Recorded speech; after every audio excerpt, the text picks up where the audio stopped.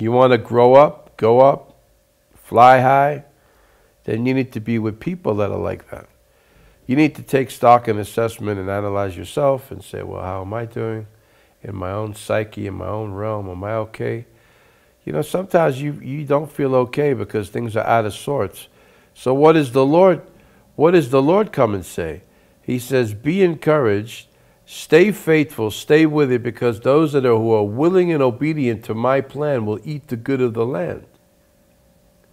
And you have to be careful to be obedient to do all that God wants you to do because if you refuse to do, it doesn't just say that you rebel or resist or uh, fight against it, but just refusing to do what God wants causes you to be devoured.